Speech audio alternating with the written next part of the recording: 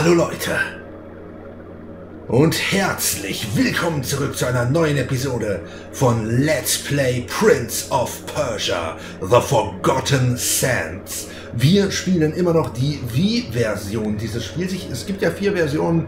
Wir spielen die Wii-Version, wir haben die PS3-Version schon gespielt und dabei wird es leider auch bleiben. Sowohl die DS- als auch die PSP-Version wird es leider nicht als Let's Play hier auf dem Kanal geben. Zumindest nicht in absehbarer Zeit. Ich will nicht sagen, dass ich es nie machen werde, aber äh, definitiv vorerst nicht. Das heißt, wenn wir hier mit der Wii-Version fertig sind, geht es weiter mit dem nächsten Teil der Reihe und zwar mit The Warrior Within, wo ich mich übrigens schon sehr drauf freue, denn äh, The Warrior Within hat tatsächlich meinen Lieblings-Prince of Persia-Widersacher. Äh, da wird es ein paar relativ coole Momente geben, denke ich. Jetzt müssen wir hier aber erstmal weiter. Wir waren dabei, die Steine zu reinigen, ne? Meine ich, mich zu erinnern. Mich zu erinnern.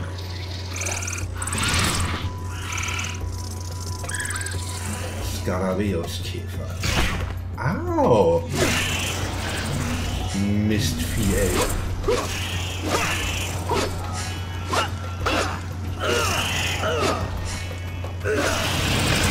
Noch einer?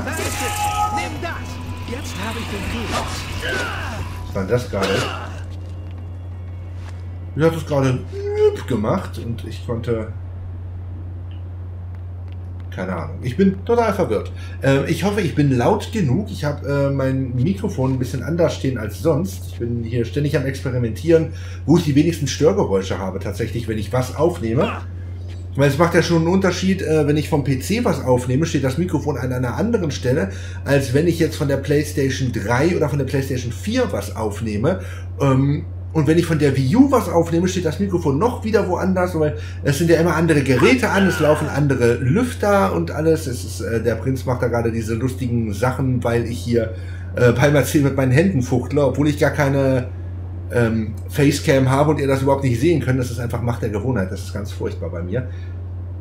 Und es sind immer andere Störgeräusche, sind immer andere Lüfter, Ventilatoren an, etc. pp. Und ich bin ständig am gucken, wo, wenn ich was aufnehme, wie das Mikrofon am besten stehen sollte, ausgerichtet sein sollte, um nicht zu weit von mir entfernt zu sein, wegen der Aufnahme meiner Sprache, äh, als auch nicht zu nah an den Störgeräuschen. Und das ist, es ist ganz furchtbar. Ich brauche mal so ein professionelles Studio oder sowas. Das, das wäre total cool.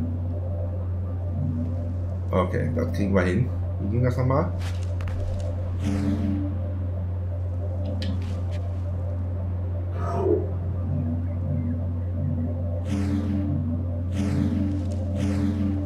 Das war einfach, das hat sich ja nicht mal gedreht. Ähm, der, äh, die Sensorleiste von der Wii U oder beziehungsweise von der Wii im Allgemeinen, die steht übrigens auch jedes Mal woanders, um zu gucken, äh, wie es mit der Steuerung hier am besten funktioniert. Menagerie der Mythen. Aha.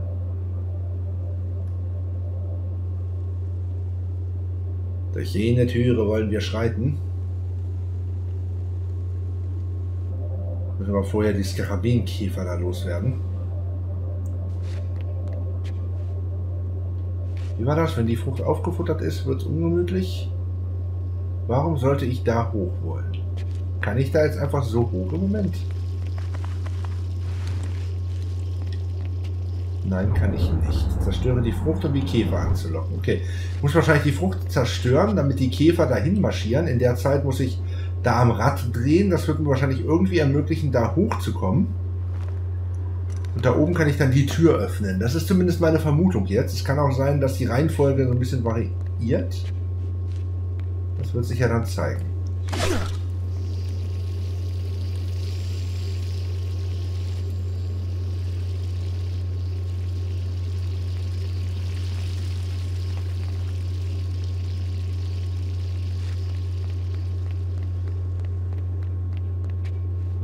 Welches war denn Z? Da ist Z.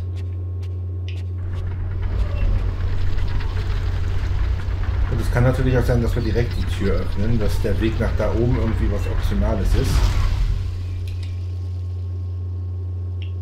Prinz, setz dich in Bewegung. Lass dich nicht fressen, Prinz. Oh Gott. Klettert irgendwo hoch, sonst fressen sie euch auf.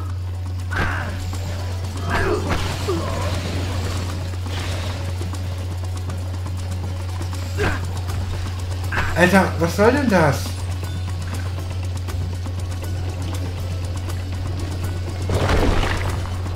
Uah.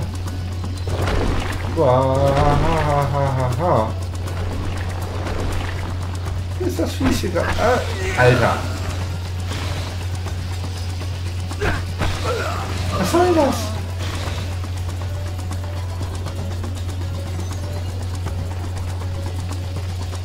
Dann geht's doch. Okay, jetzt auf einmal. Weg vom Boden. Oh Gott. Äh, Wir müssen diese Insekten loswerden. Endgültig. Sind die hier hoch? Nein. Aber ich habe meine, meine Sandladung verloren. Äh, Sandladung, ja. Ich bin schon wieder in äh, Sands of Time, aber ja gut, das ist ja im Prinzip ist ja sowas ähnliches, ne? Ich musste mich gerade ganz schön zusammenreißen, um mich von Prey loszureißen. Ich habe die, äh, die heutige Folge von Prey, die habe ich nämlich auch gerade erst aufgenommen und das hat mir richtig. Ich, da war ich, ich war diesmal richtig drin. Äh, ich fuchte schon wieder mit den Händen. Äh, ich war richtig drin, das hat mir richtig Spaß gemacht. Ich wollte eigentlich gar nicht aufhören, aber ich musste mich so zusammenreißen, um jetzt erstmal Prince of Persia aufzunehmen, damit wir für heute quasi alle Folgen haben. Ich nehme nämlich wieder so ein bisschen kurz vor knapp auf.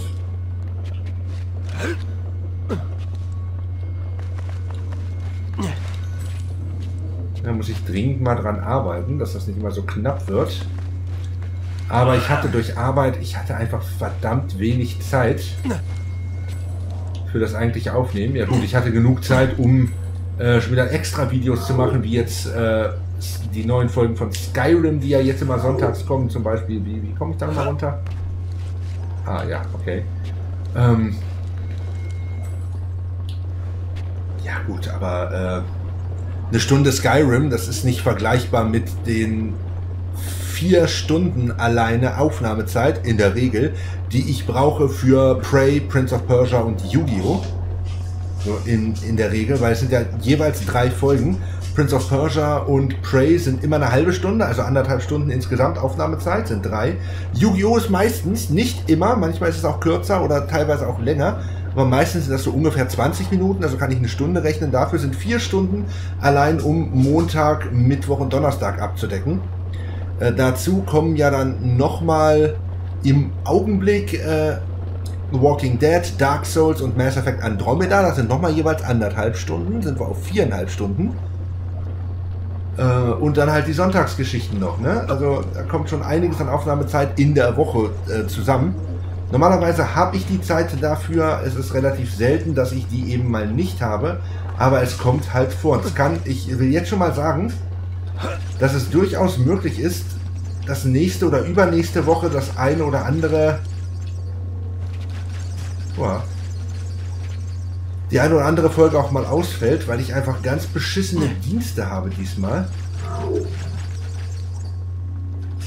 Ich habe gar nicht gesehen, wo es weitergeht.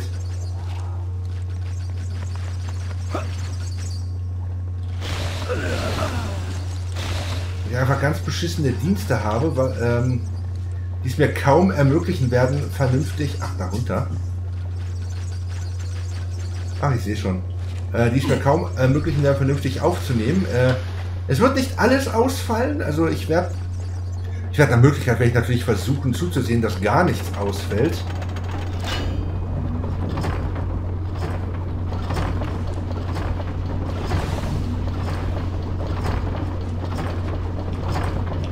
Ähm, aber es kann halt doch passieren. Und das bitte ich an dieser Stelle jetzt dann schon mal zu entschuldigen. Was ist das für ein Ort? Das war die königliche Menagerie von Istehar. Hielten die Adligen die Tiere hier zum Spaß? Istehars Adel hatte noblere Beweggründe. Im Schutz dieser Gehege lebten sagenhafte Kreaturen aus allen Gegenden und Zeiten. Viele die letzten ihrer Art. Jetzt sind alle fort. Dank der Haoma. Ähm, wie gesagt, ich habe ich hab ganz blöde Dienste jetzt kommende Woche. Äh, Also für euch jetzt kommende Woche. Für mich ist es tatsächlich noch zwei Wochen hin. Nächste Woche geht. Also die Woche, wo jetzt äh, diese Videos hier laufen, die aktuelle Folge zum Beispiel, das ist für mich jetzt gerade nächste Woche. Da gehen meine Dienste. Da habe ich äh, relativ viel Spätdienst, ähm, was es mir ermöglicht, dann abends noch mich hinzusetzen und was aufzunehmen oder vormittags nochmal. Ähm, das heißt, nächste Woche äh, sollte eigentlich gut gehen mit den Folgen. Die Woche darauf äh, sieht es ein bisschen ungünstig aus, weil ich habe, ihr müsst wissen, ich habe nachmittags selten Zeit. Zumindest wenn, ähm, wenn ich in der gleichen Schicht arbeite wie meine Freundin. Und das ist tatsächlich dann die Woche mal der Fall. Ja, da sind wir quasi nachmittags beide zusammen und wenn wir beide zu Hause sind, setze ich mich hier nicht stundenlang hin und nehme irgendwelche Let's Plays auf. Und da ich ja Frühdienst habe, kann ich auch abends äh, mich dann nicht nochmal hinsetzen äh, und hier irgendwas aufnehmen, während äh, sie dann schon im Bett ist, weil ich bleibe in der Regel sowieso länger auf. Ähm, weil ich halt zum Frühdienst muss, deswegen nicht hier bis 12 Uhr 1 sitzen kann, weil ich um 4 Uhr wieder aufstehen muss. Das bedeutet, dass ich halt die Woche relativ wenig Zeit zum Aufnehmen habe. Kann sein, dass das eine oder andere ausfällt. So, jetzt habe ich es nochmal vernünftig erklärt.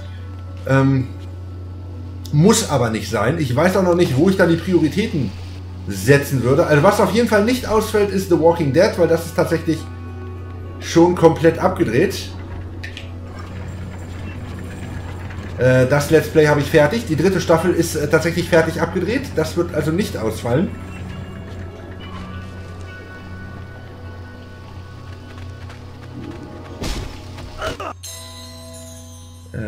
Schwinge die Wi-Fi-Bedienung oder das Nunchuk auf einen auf dem Bauch liegenden Feind, um ihn sofort zu töten. Ah, ja. Okay. Ähm, es wird wahrscheinlich am ehesten... Äh, ja, ich könnte mir vorstellen, dass es Skyrim trifft. Wobei äh, Wochenende kann ich noch am ehesten was vorbereiten für. Ähm,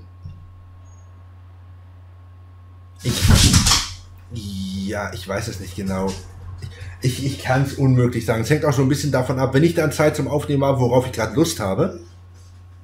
Äh, wobei ich mal ganz stark davon ausgehen würde, dass Prey und Dark Souls wohl nicht ausfallen, weil das sind die Spiele, die im Moment, die mich im Moment am meisten fesseln. Ich meine, Spaß machen sie mir alle, aber das sind die Spiele, wo ich wirklich, wo ich mich echt losreißen muss, um dann irgendwann mit dem Spielen aufzuhören. Lasst mich in Ruhe! Lasst mich in Ruhe! Diese scheiß Käfer hier nochmal rauslocken.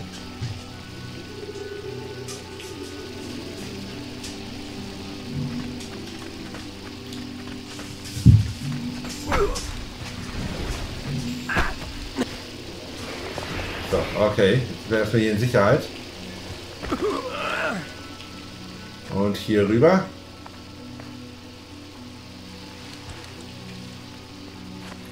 Was mich zurzeit von den laufenden Projekten tatsächlich am wenigsten fesselt, bin ich ganz ehrlich, äh, das ist Yu-Gi-Oh! Da ist so ein bisschen der Saft raus. Ich meine, ich ziehe Phase 4 jetzt noch durch. Ähm, jetzt haben, sind wir so weit gekommen, jetzt mache ich den Rest auch noch. Aber es ist, da ist wirklich nach, ja, inzwischen 200, über 220 Folgen, ist da so ein bisschen die Luft raus.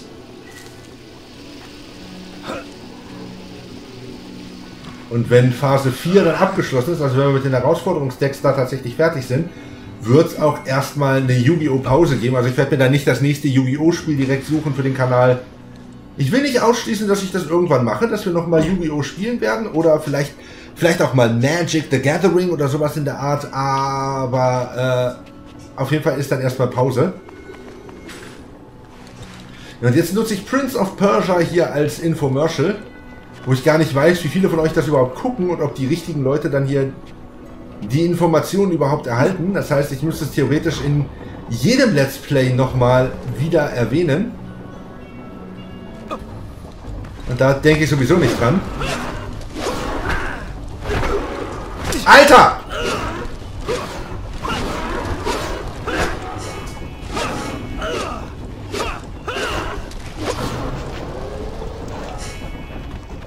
Ja der Bogenschütze weg.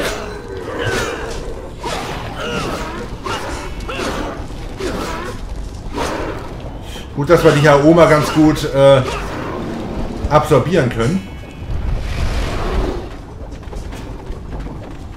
Wir erstmal die kleinen. Machen wir erstmal das Kleinvieh weg.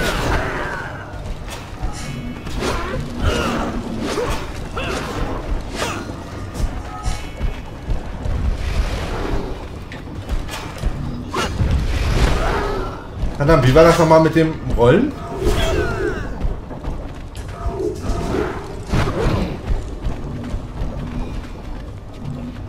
Verdammt, wie konnte ich nochmal rollen?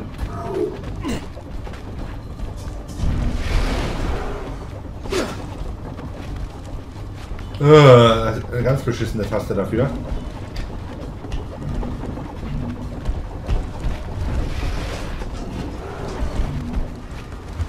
Alter, die Kamera, ne?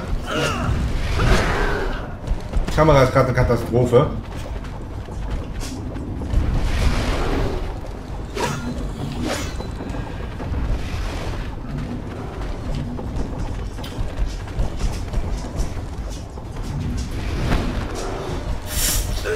Oh, Alter, das kann doch nicht wahr sein. Dann halt so. Hauptsache, der Kerl ist erledigt hier.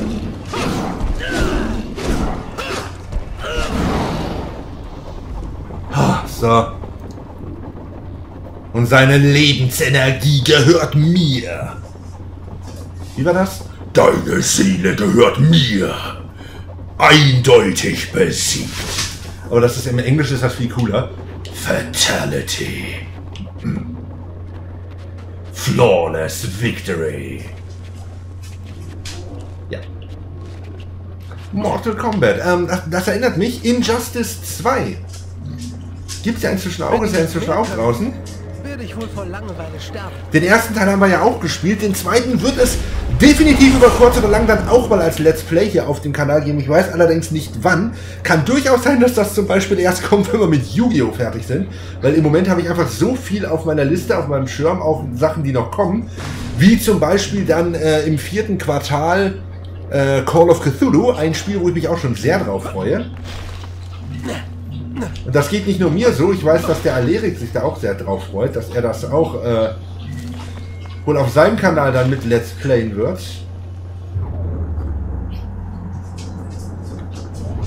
Friere den Bogenschiff mit deinen Kräften des Schaffens ein.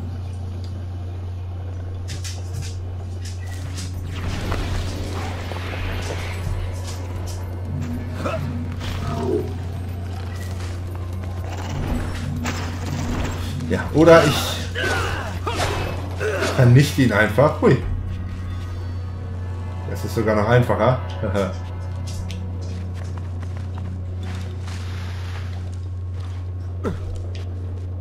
Und dann einfach weiter dem Weg folgen. Wo sind wir jetzt? Wir sind immer noch... Wurde Regenwasser für die Tiere der Menagerie gesammelt. Er könnte noch mit den Schleusen in den Mauern verbunden sein. Wir sind letztendlich immer noch dabei, diese beiden Säulen da äh, zu säubern und zu befreien, damit wir letztendlich dann das Tor öffnen können, richtig? Wir sind immer noch auf der Skarabäen-Seite, also quasi auf eins von zwei. Das ist äh, ausführlicher, als ich erwartet hatte. Hier die HO mal wieder sehr präsent. Okay, das wollte ich so nicht. Sondern eher so. Unsere sechsbeinigen Freunde sind wieder da. Klettert nach oben, schnell!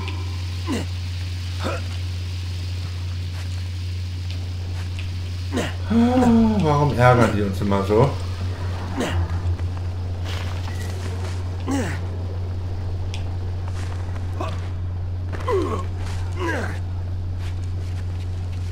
So. Dann öffnen wir mal das Umbrella-Logo da im äh, Boden.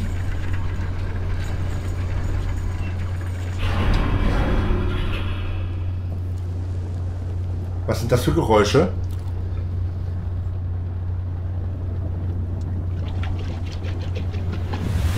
Ah. Ersäufen wir diese verdammten Mistviecher.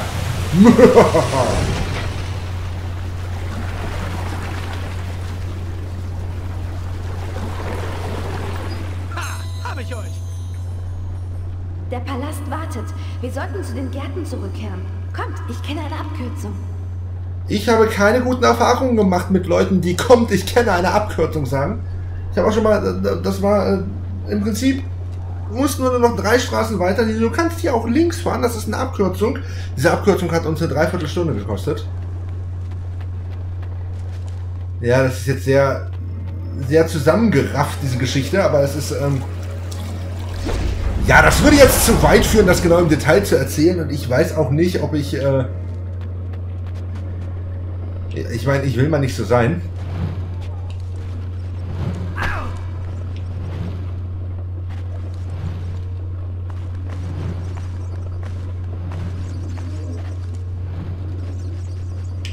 Musst du mich gerade mal konzentrieren. So.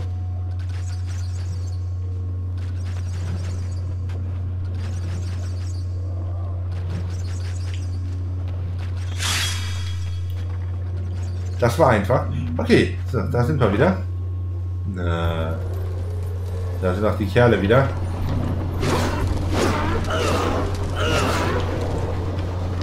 Wir müssen ein ganz kleines bisschen aufpassen, weil da eine Säule sich tatsächlich bewegt. Arschloch.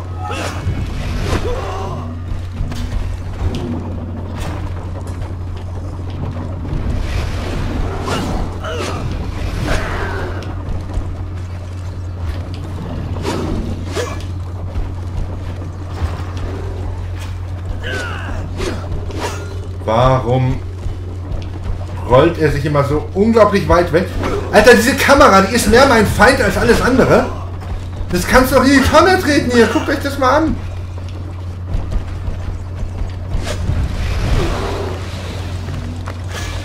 So, respawnt der jetzt? Oder, oder äh, regeneriert er seine Power? Oder...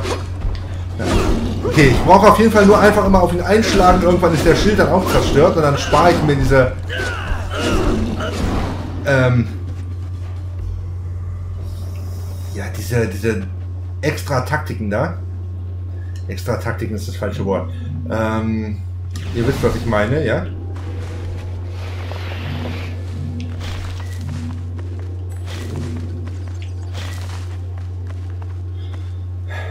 Das akribische Hin- und Herspringen und Klettern.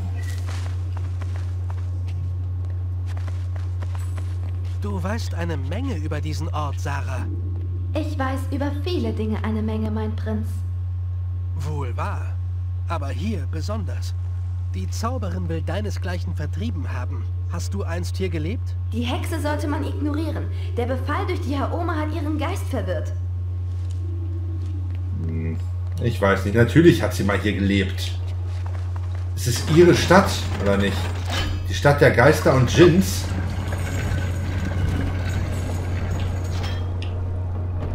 Das ähm, wollte ich nicht.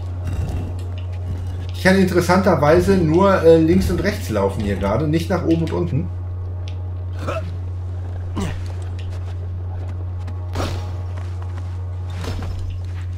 Das ist total irritierend.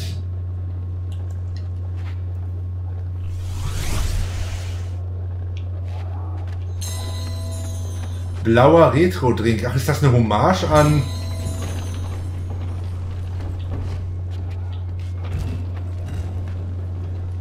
an das originale äh, Prince of Persia?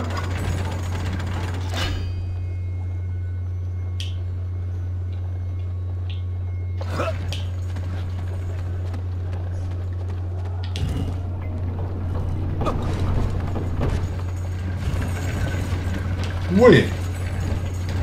Weil, also 2D-Plattformer und so.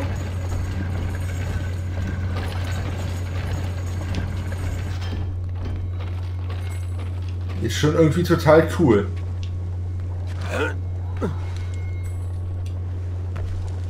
Ach, ich finde das gerade echt cool. Solche Einlagen.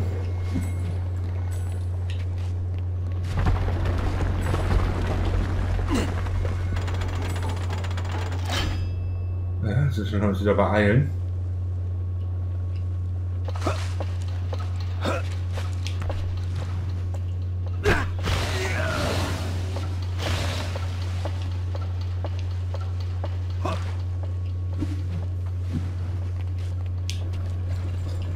hops und hops und durch. So, und ich darf mich immer noch nur in zwei Dimensionen bewegen.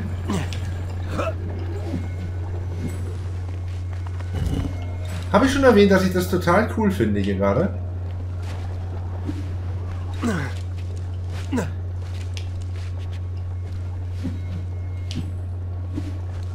Wenden.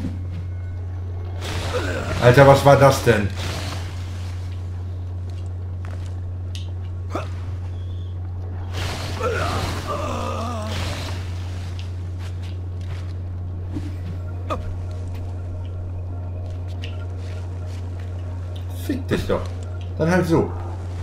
Habe schon wieder das schlimme Wort gesagt. Das wollte ich gar nicht. Und jetzt müssen wir sowieso da hinten hin, okay. Aber diesmal wahrscheinlich nicht so super viel Zeit. Oh, es ist vorbei. Ich kann mich wieder in allen drei Dimensionen bewegen, aber sehr cool gemacht.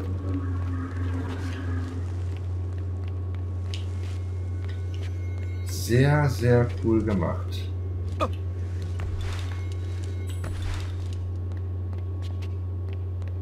So, hier sind wir jetzt wieder beim beim Garten, wo wir die äh, wo die Skarabäen uns gejagt haben. Das war schwierig. Langsam werde ich unsicher.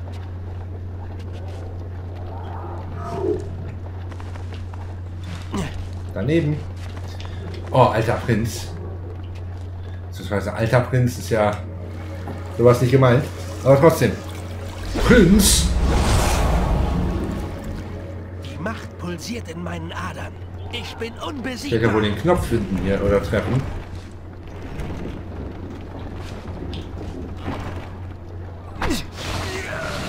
Oh, es nervt mich, dass der immer nicht springt.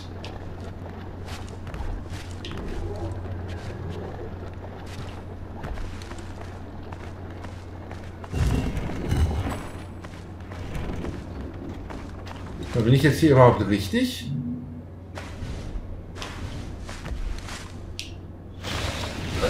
Muss ich da was zu sagen?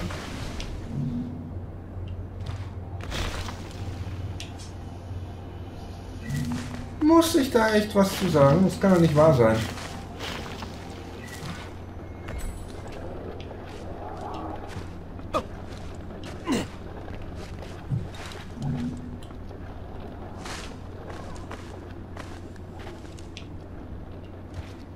Ups. Hops. Hops. So. Und hier aus abwärts. Jetzt müssten wir aber bald da sein, oder?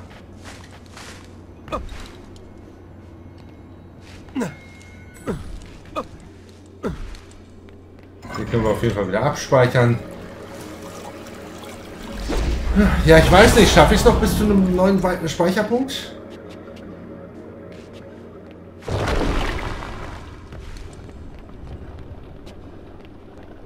Hier haben wir die Skarabäen abgehängt.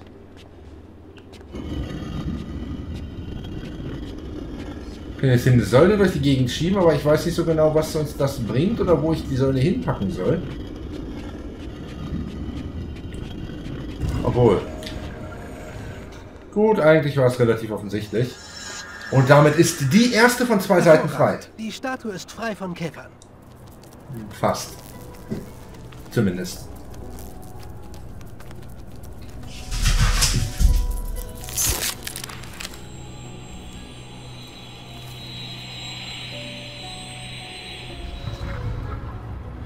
Aber die andere Seite müssen wir immer noch in Position bringen.